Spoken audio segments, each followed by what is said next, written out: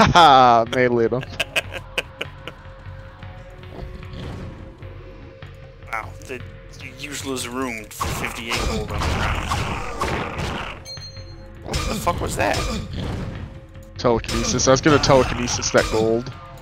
Uh, so when you walked in there, I would have Uh, stolen. I I, can't hit this thing for some reason.